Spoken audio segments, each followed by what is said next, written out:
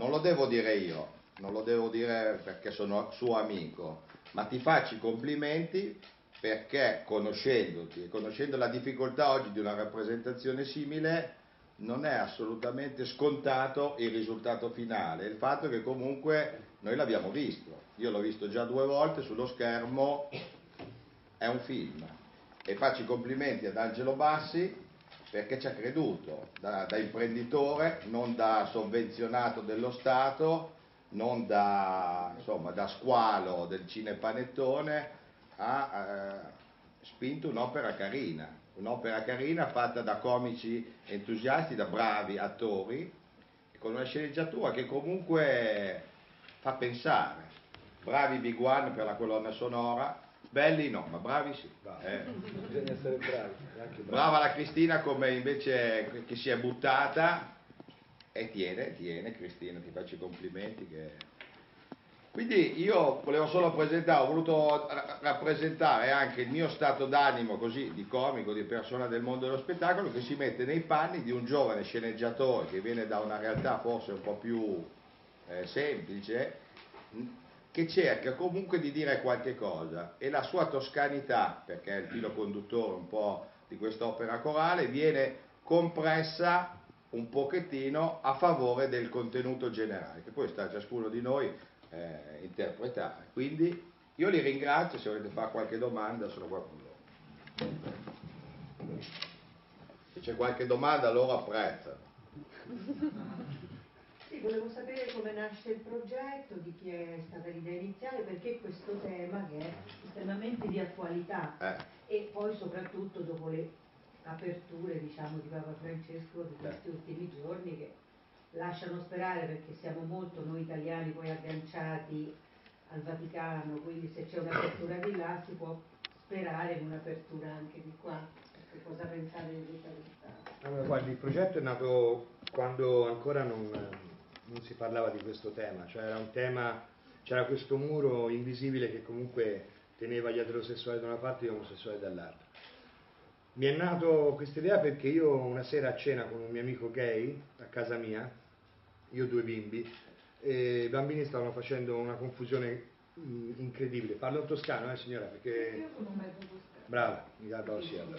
Dicevo, facevano un casino incredibile, io a questi bambini mi sono girato e ho detto ora basta, state rompendo, basta, state rompendo, eh. Lui si è girato verso di me, i bambini sono fermati, si è girato verso di me e mi ha detto ci devi far rimanere male. Ho detto ma lo vedi che fanno un casino, non si può neanche parlare. Lui mi ha detto beato te che puoi avere dei bambini, non potrò avere né dei bambini né una famiglia.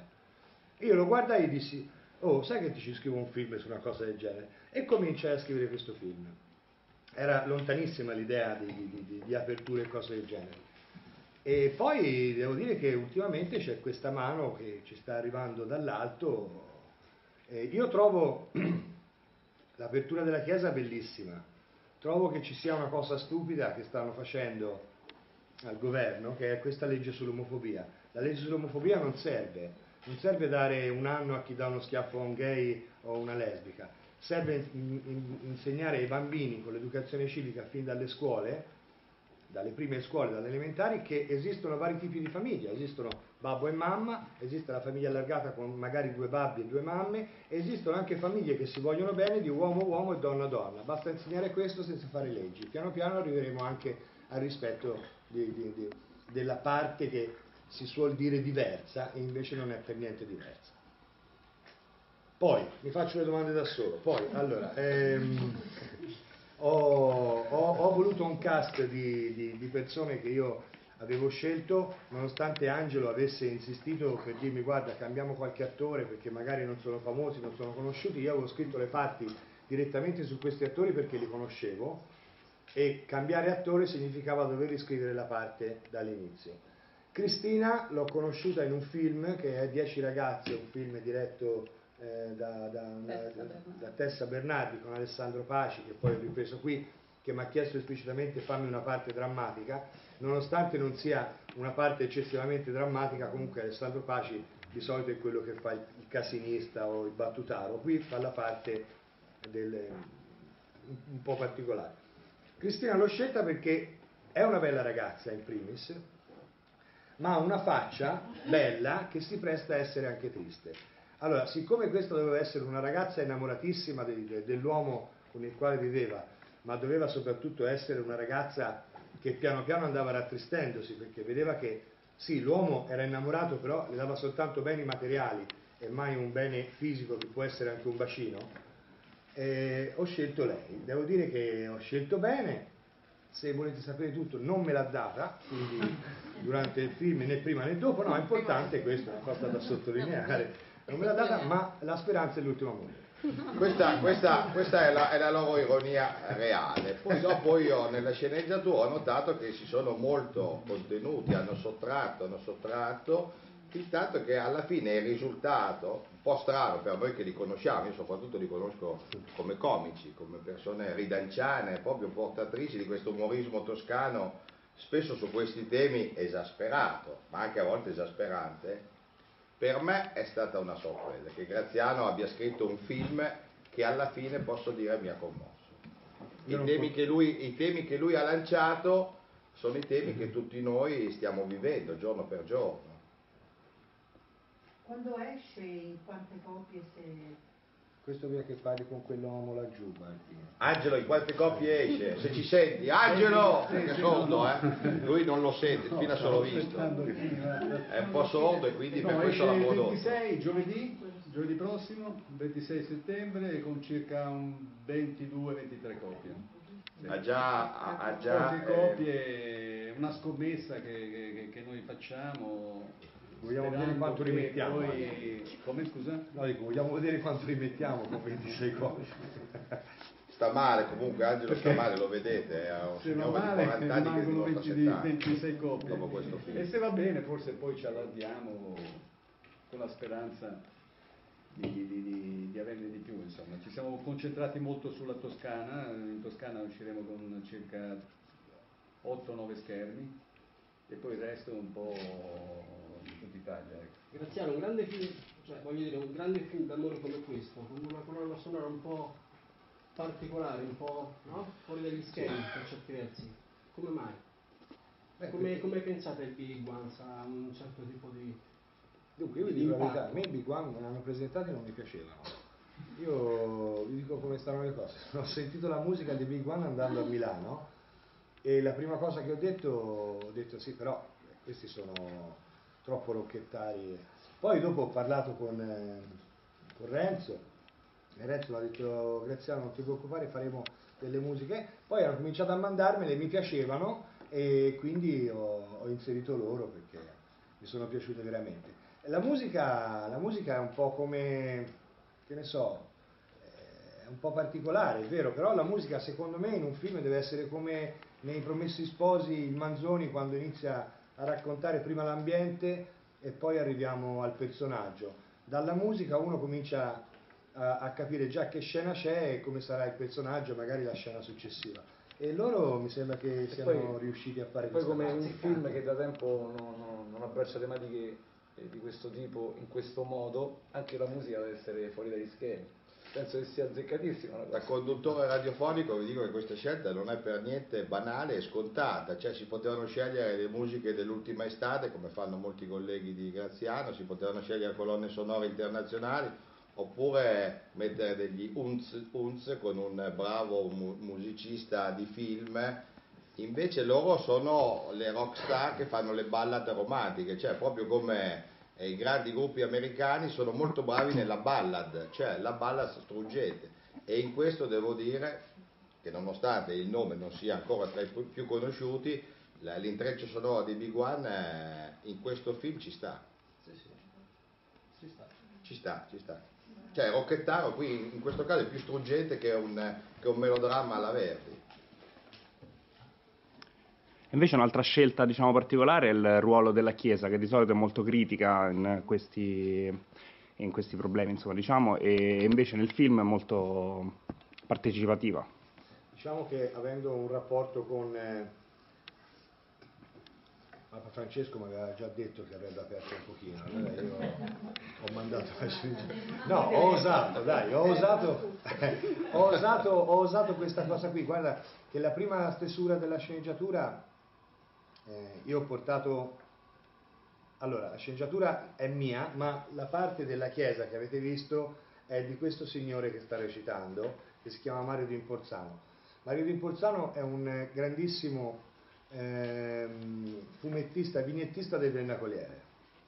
Quando ha visto la mia prima sceneggiatura mi ha detto questo film non uscirà mai, perché avevo messo delle cose leggermente pesanti.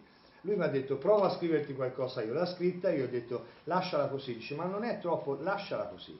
Dice ma la Chiesa è accondiscendente, lasciala così perché io sono convinto che prima o poi arriveremo. Cioè se la Chiesa non vuole veramente chiudere le porte da tutte le parti, deve un pochino aprire. E poi comunque la frase più bella che ho sentito negli ultimi, credo, 20 anni è stata quella di Papa Giovanni quando ha detto chi sono io per giudicare un omosessuale. Questa è una delle frasi più belle che possa esistere sulla terra e ringrazio Papa Francesco, Papa Francesco che ha detto questa cosa. Io ho osato e che ne so, ho forse avuto la fortuna di avere questa apertura della Chiesa proprio in questo periodo.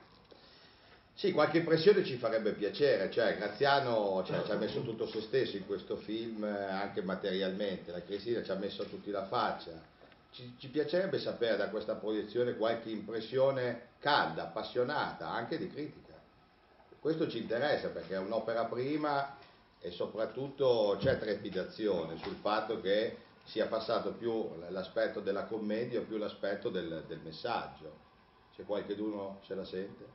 Cioè, non, vorremmo, non, vorremmo, avere una clac, cioè in questa presentazione non si vorrebbe avere una clac di amici che dicono bello bello, c'è un po' di attesa perché c'è un investimento che secondo me è anche morale su questo film e oggi è di attualità. Personalmente temi di questo tipo, voglio dire, negli ultimi tempi dappertutto, dappertutto. Si, se ne parla, ma eh, forse Graziano ha colto un aspetto meno, meno, meno, spettacolare della cosa, quello più, quello più, intimo, quello più intenso, ecco perché da, da, questo punto di vista secondo me è un film molto bello. Molto Quindi il film ti è piaciuto? Personalmente sì. Inizialmente, inizialmente, Come ne parlerai? Inizialmente devo dire un po'... Ci devi entrare. Ci, devi entrare, ci devi entrare. Però una volta entrato... Ci devi entrare, sono d'accordo. Va via, va via liscio. Altre opinioni?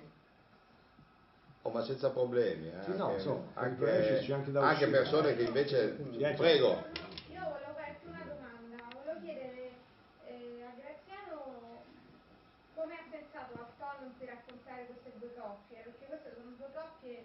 molto spaventate, cioè, eh, vorrei capire il ragionamento secondo cui possono arrivare a pensare a sposarsi tra loro per avere un bambino, cioè entriamo in una dimensione leggermente metafisica, poco realistica, no? O no? Cioè più un sogno, più una favola moderna voleva essere. Allora, io conosco varie coppie di, di persone che comunque diciamo che si sono sposati per la famiglia, perché la famiglia a un certo punto vede che un figlio è gay, che è omosessuale e cominciano a premere, a battere i piedi, dai sposati, fatti una famiglia, spose, perché è più la paura di far vedere agli altri che c'hai un figlio omosessuale, piuttosto che pensare che lui in quel momento sta soffrendo. Per cui ci sono tante persone che si sposano e magari fanno i figli anche contro voglia per far vedere agli altri eh, di essere una famiglia etero. Ora io porto sempre un esempio, ve lo dico, tanto è un esempio i toscani sono fatti così, purtroppo ve lo devo dire. Allora, se io e, e, e un mio amico Roberto o lui partiamo per andare, per venire a Roma, eh, ci fermiamo in un bar, sicuramente noi, se ci fermiamo in un bar e arriva il barista, gli chiediamo il caffè, il barista ti guarda e ti fa corretto o normale? Dico no, guardi, normale. La prima cosa appena usciamo Appena usciamo dal bar è questa, la prima frase è questa, qui non ci si ferma più, chissà cosa ha toccato prima di fare caffè a noi. Se al ritorno ci fermiamo in un bar dove c'è una bella, una bella barista con uno, uno, scollo fino a qui e uno scoscio enorme che si vede mezza mutanda, la, la, la, prima cosa appena usciamo, la prossima volta ci fermiamo lì. Ecco, questa è la stupidità umana, soprattutto dell'uomo, perché potenzialmente chi ha toccato più roba, lei o lui? Sicuramente lei, però noi ci fermiamo da lui. Allora, Molte, molte persone, per non far vedere di essere omosessuali, si sposano e magari stanno male una vita. Perlomeno loro stanno male una vita perché comunque nascondono la loro omosessualità agli occhi degli altri, anche se qualcuno poi lo scopre, però nascondono la loro omosessualità per avere poi un, un progetto che è quello di avere dei figli che purtroppo nella situazione in cui siamo in Italia le coppie omosessuali non possono avere. Questo. Non è che ho inventato io, eh? cioè le coppie, le coppie, che si sposano così ce ne sono. No, lo dico perché magari poi qualcuno dice ha insegnato, no, no, io ho soltanto ripreso dalla vita reale quello che succede. Eh, però eh, loro decidono dopo di parecchi anni di avere dei figli, di voler avere dei figli. Sì. Quindi prima erano già due coppie di fatto e mi sembra che adesso sia abbastanza aperto questo fatto di avere di, comunque delle coppie omosessuali non più come prima. E quindi perché si nascondono tanto? Perché lei vive a Roma, signora. Come? Perché lei vive a Roma. Se vivesse in un paesino, le lo dico perché volutamente la storia è stata ambientata in un paesino, perché se uno vive a Roma e sei omosessuale non gliene frega niente a nessuno. Se sei omosessuale a Fucecchio, dove abito io, o a Massarosa, dove sto attualmente, te vai a prendere il caffè, appena esci da prendere il caffè c'è sempre qualcuno che hai visto? Capace ora va a pigliarlo di va a pigliarlo di là. Ed è una cosa bruttissima perché comunque sei sempre additato se sei, se sei omosessuale. Quindi è anche il, il fatto di, volutamente di, di, farlo in un paesino è questa cosa qui. Due, due coppie ehm, una coppia omosessuale mano nella mano io guardi posso dire che a Viareggio dove, dove abito attualmente mano nella mano si vedono. Però comunque c'è qualcuno che gli dà fastidio questa cosa. E io non riesco a capire perché comunque, guardi che anch'io ero uno di quelli che diceva guarda mano nella mano, cioè proprio sono stupide, però eh, quando cresci cominci a capire che comunque l'amore veramente è una cosa strana, perché io mi ero innamorato di una donna, mi ci sono sposato, poi mi sono innamorato di un'altra, dice allora l'amore perché poi finisce? Perché purtroppo può finire. Allora, può finire ma ne può nascere uno più grosso e, e quindi io ho, ho, voluto fare questa cosa qui un po' strana e, e, e dare, dare, questa possibilità a questo film di poter aprire un attimino. E, boh, non lo so, però sì, è un po' un, un, po confusionario come film, eh? lui ha ragione, ci sono degli errori, eccetera. No, vabbè, ma questo lo dico, no, lo no. dico per l'onestà dell'opera. Un'altra cosa che dico, ho detto al buon Graziano, lui non ha lo, la faccia dello stereotipo del protagonista. Cioè effettivamente i protagonisti maschili e femminili hanno altre facce nel nostro immaginario collettivo. Certo. Quindi devo dire è andato giù in un modo un po' a mano di vanga, si dice da noi, cioè è un po' grossolano in questo, però la sua faccia nella sceneggiatura e la coralità dell'insieme, infatti giustamente dice la donna, sembra quasi un sogno, sembra quasi, cioè tu anche quando parli non so se sei il protagonista, cosa vuoi raccontare, mi sembra un po' strano il tutto, però in tutto questo c'è una gradevolezza che oggi il cinema italiano, che deve sempre trovare il tipo del genere, cioè tutte le volte noi dobbiamo trovare i generi italiani, loro sparigliano, sparigliano, sono dei comici, sono toscani, normalmente loro sputtanano tutto, cioè diciamolo senza mezze parole. Un tema delicatissimo di cui eh, i più grandi registi, tra l'altro omosessuali, si sono occupati non ce l'hanno fatta ci fanno tenere su un tema così difficile, una commediola leggera che ha veramente tante leggerezze e tante ingenuità, ce la vediamo fino alla fine e alla fine veramente complimenti Graziano da parte mia, esci con il contenuto, cioè esci con quello che volevano dire, perché a molti dicevano ma dai ma fate più battute, fate ridere, siete dei toscani, la gente con i toscani vuole ridere. Invece questo testa di cazzo, glielo dico io da Emiliano, ha voluto portarci sul melò che a volte ne, nemmeno gli ultimi di Almodovar sono riusciti a, a scovare, nonostante Pedro sia il più grande cineasta del mondo. Cioè ci è riuscito lui, cioè, le, ultime, le, ultime, opere di Almodovar invece sono scorse via come commediola divertente con dei grandissimi, ma non ci hanno lasciato questo segno. È riuscito a darci una mezza zampata su questo tema che sta riguardando, penso, oggi tutti noi. Quello che ha detto lui, sì. quello che ha detto lui, lui. Dammi 20, va anche te. Quello che ha detto lui, quello che ha detto lui, è effettivamente così, non so neanche io come ho fatto a tirar fuori questi temi, cioè lui stesso è un po' inconsapevole de, dell'opera che ha fatto, lui si è messo lì, fa un film corale, chiama i bravi attori, i bravi, si mette anche di buona lena nel cercare le, le, le suggestioni. Io la prima volta che mi hanno detto il film di Graziano Salvador, ho detto vado lì per farmi due risate, è un amico, sono i soliti toscani che si prendono in giro tra... E alla fine mi ha tirato fuori, soprattutto nel grande schermo, soprattutto con queste facce un po' non credibili, un'emozione che spesso al cinema non salta fuori. Sono assolutamente d'accordo. Poi c'è una cosa bellissima. Che è quell'uomo che ride continuamente, quello che eh. al parco, quello è stupendo. Veramente dà un tocco particolare a tutto quanto. C'è quello che ride di tutto. E parlerà bene, sì. Sì, veramente l'ho trovato. Grazie, Graziano. Questo è. No, no, guarda in più. Questo è. Allora, io le ripeto, io ho preso. Ci sono delle cose che mi fanno ridere. Questo è un amico di mia moglie, questo è un ex poliziotto in pensione e lui mi fa ridere di continuo. Lui è uno che lo guardi e inizia a ridere così. Allora io ho detto, ma se tutte le volte che appare questo Franco Trentalance tu mi fai la risata, mi porti piano piano a farmi capire, come si dice in Toscana volgarmente, dice mandala, mandala, tanto te la trombano prima o poi, perché poi la fine è quella. Allora io ho messo questo qui. Devo dire che molte persone quando cominciano a guardare faccio, ma questo cazzo c'entra? Poi piano piano si arriva alla conclusione. E Cristina è la parte scatenante di questa cosa qui. Ora, poi passiamo a Cristina che è stata bravissima. La ragazza iniziale, la mamma col bambino, vi sarete resi tutti conto che probabilmente non è proprio... è una donna, è una donna. È una donna che ha vinto Miss Trans 2011 e mm, io volevo un pochino rompere gli schemi fin dall'inizio, no? perché poi saremmo arrivati poi alla fine.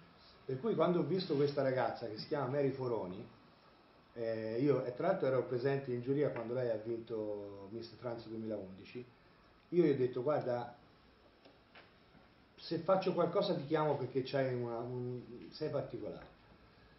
Quando si è presentato questa idea qui di fare questo film ho detto no, bisogna che ce la metta e gli faccio fare la mamma col bambino, così andiamo proprio controcorrente eh, al massimo. E lei ha accettato subito, eh, come tutte le donne è noiosa, vi dico la verità, perché appena arrivata, no, questo vestito non va bene, il trucco non va bene, detto ascolta, cioè, mettiti lì. Peggio di me. Porta, peggio di lei, porta il passeggino e non dare più fastidio più di tanto. E ora passiamo alla nostra Cristina, fantastica, una donna stupenda che non la potete vedere in piedi, ma allora, intanto con la Cristina ci siamo presi tutta la rosa del Milan. Noi sappiamo che scusate. Sì, sì. Il Milan, non aspetta, il Milan, il Milan verrà a vederlo. Tutti. Tutti. Ma certo. Vai Cristina, di, di a noi sei piaciuto, grande... sei piaciuto.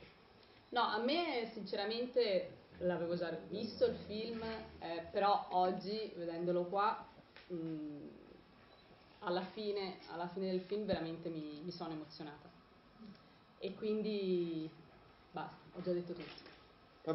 Nel senso che ehm, non mi ero mai emozionata come oggi nel, nel vederlo, soprattutto nel, nel, finale. E quindi secondo me. Se sei una brava siamo. attrice ci vorrebbe una lacrima. Pianto. No, anche, isterico, anche isterico. La volevo, prepareremo. La volevo prepareremo. ringraziare anche eh, Novello Novelli che mh, mi ha dato questa opportunità di poterlo di poter fare questa cosa qui. Io quando l'ho chiamato ho detto Novello, ho una particina per te nel film, me la fai? Pennellone, e te, l'ho fatta fino ad ora, vieni.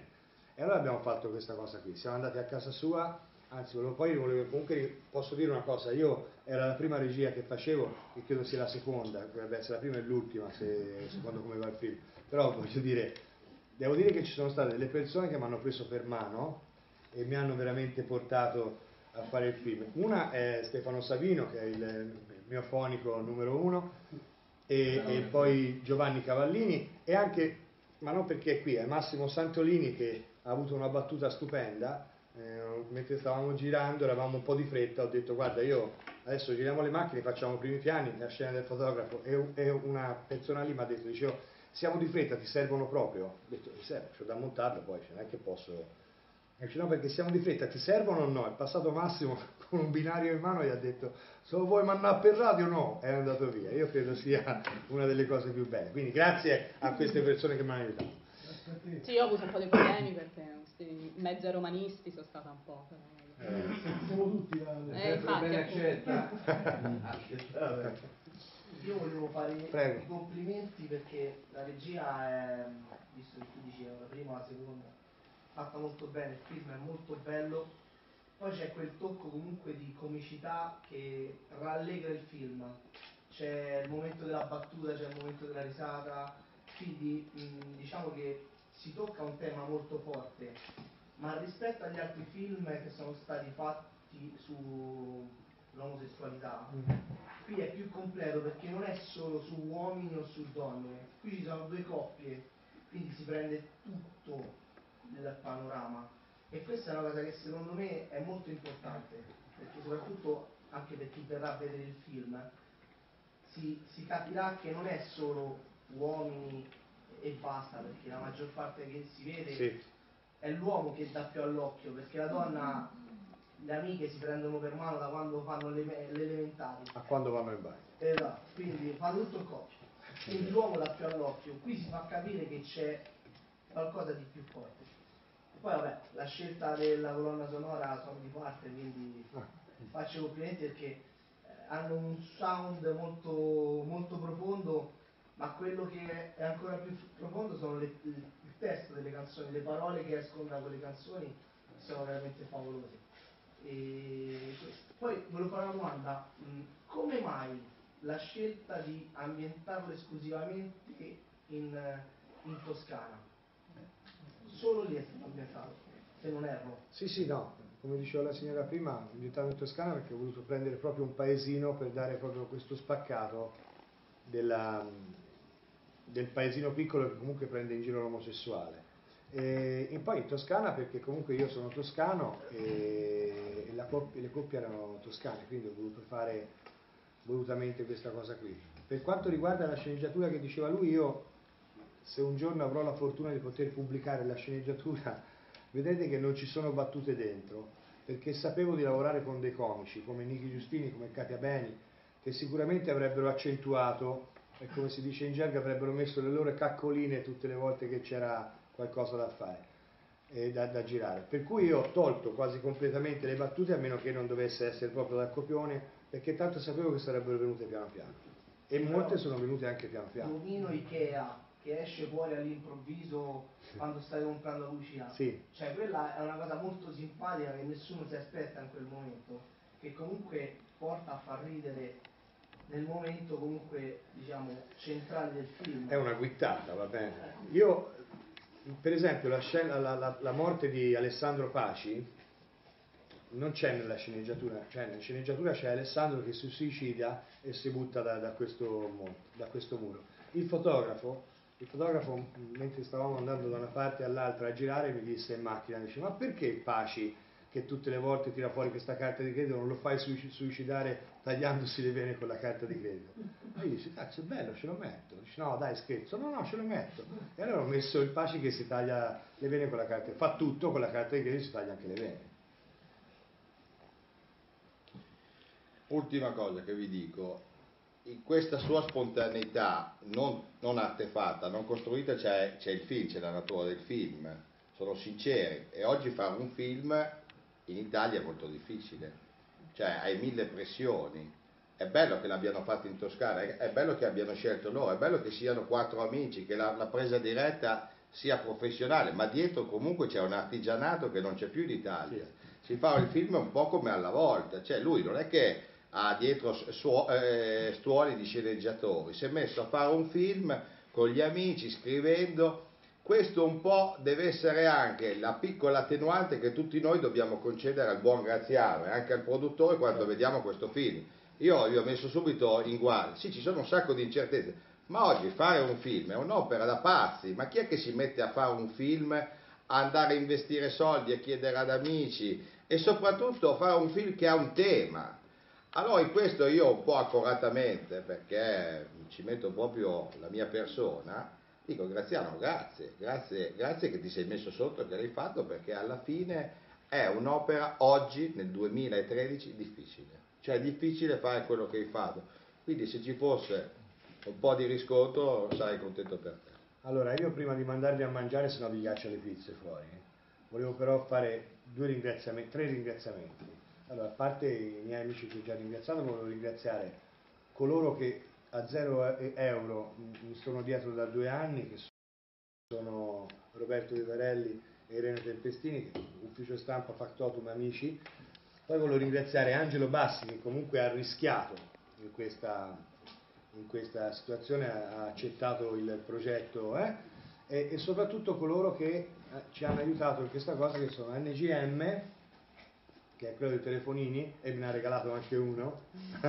Uno eh, però me l'ha regalato. Eh, no però sta facendo veramente ha creduto in questa cosa qui.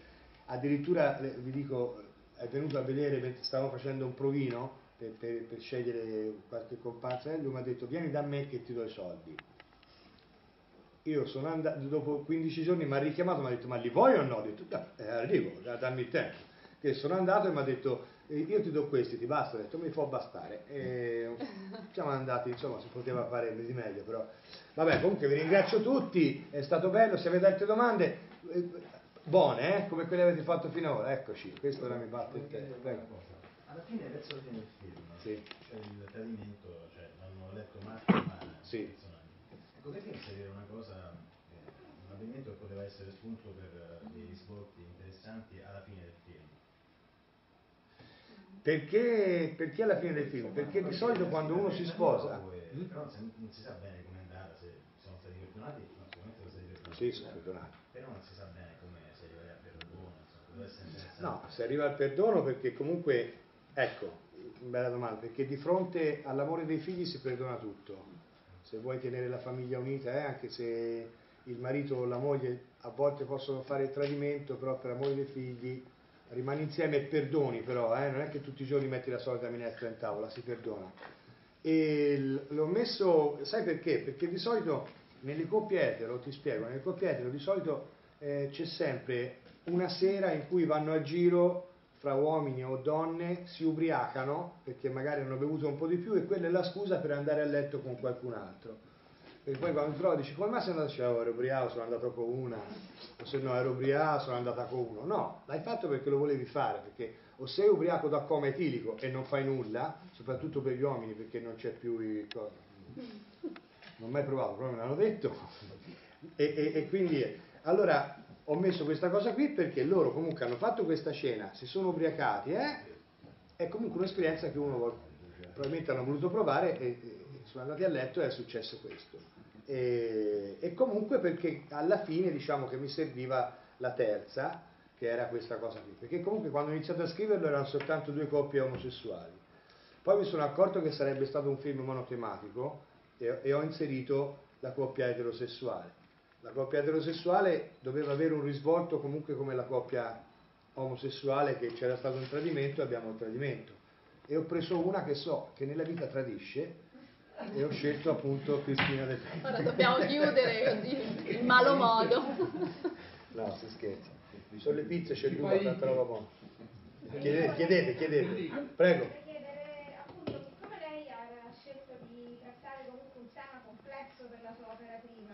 Sì. L'urgenza quindi per lei era forte di trattare questo tema, non ha pensato magari per la sua opera prima di fare come so, molti suoi colleghi comici, di lasciarsi una storia più, più facile e quando uh, avesse avuto più esperienza trattare un tema come questo.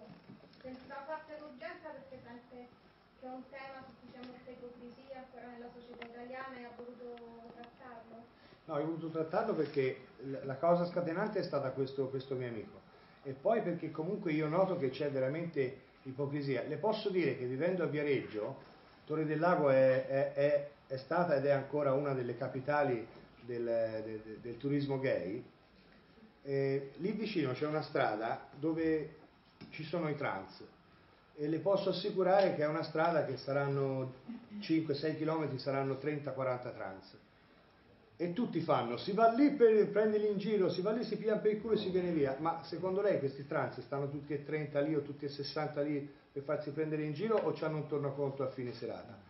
Allora, se stanno lì in 30 o 40 c'è un tornaconto, vuol dire che c'è questa ipocrisia di dire vado lì, li prendo in giro, poi però quando non mi vede nessuno vado. E da lì le posso assicurare che nascono i cerchi nel grano perché quando entrano nel campo, una volta fatto tutto, vanno via, marciano dietro, fanno il cerchio nel grano e vanno via. Se andate a Migliarino e fate le foto dall'alto, ci sono i cerchi nel grano. È una cosa stupenda.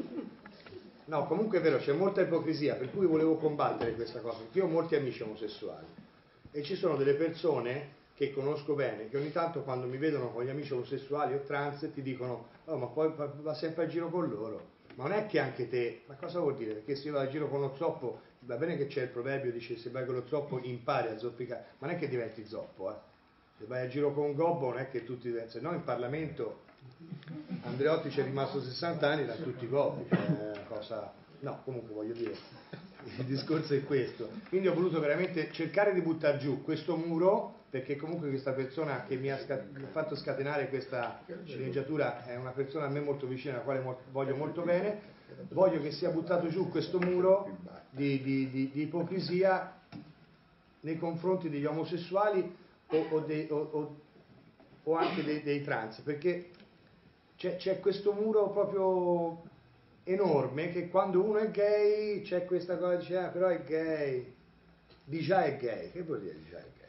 Scusi un attimo, è contenta della risposta che le ha dato? No, non ha capito. ah, no. no, perché c'è sempre questa vena surreale tua che mi diverte molto. Non è una vena surreale, cioè c'è una strada che si chiama Via Traversagna, ve lo dico, al, confine con l'autostrada che va a Firenze, c'è questa, questa, strada dove ci sono la sera le macchine così. Ora, possibile che tutti vadano a prenderli in giro e loro stanno lì tutta la sera così a prendere freddo a prenderli in giro? Loro stanno lì perché quando vanno a casa hanno soldini in tasca e quello che c'è andato ha lasciato un cinquantino o un quindicino. Ultimamente quella crisi è un po' in meno mi fanno a me. Ah, ecco, Terenca. Vabbè, però devo dire che nonostante tutto eh, con Angelo abbiamo avuto tantissime discussioni, scozzi, perché è normale che ci sia questa cosa qui, però io sono contento di aver fatto questa cosa, io spero vi sia piaciuta, vi dico soltanto che ci ho messo l'anima, come ce l'ha messa Angelo, come ce l'abbiamo messa tutti, ci siamo litigati, ci siamo mandati a quel paese, eh, ci siamo ritelefonati abbassando i toni, perché sapevamo che comunque probabilmente era una cosa che poteva eh, uscire in maniera giusta. Spero di avercela fatta. Eh, il tema, ha ragione lei, è un po' pesante. Avevo anche altri film, eh, un altro sempre scritti da me, eh, che me li scrivo da solo perché le spiego, in Toscana i comici toscani e i registi toscani non mi hanno mai chiamato, allora io me lo sono scritto da me, mi sono fatto anche il provino, mi sono piaciuto e mi sono preso. Eh, me lo sono fatto, sì sì, no, proprio mi sono preso e allora ho deciso di, Insomma, ho fatto che, ho, avevo altri due film, uno si chiamava Le farfalle hanno ali per volare e l'altro era Parliamone. Parliamone è proprio un film da ridere dall'inizio alla fine, Le farfalle hanno ali per volare tratta un tema pesante, però è, è più da ridere di questo. Questo secondo me ho dovuto farlo così perché io quando ho visto il vizietto mi sono divertito tanto.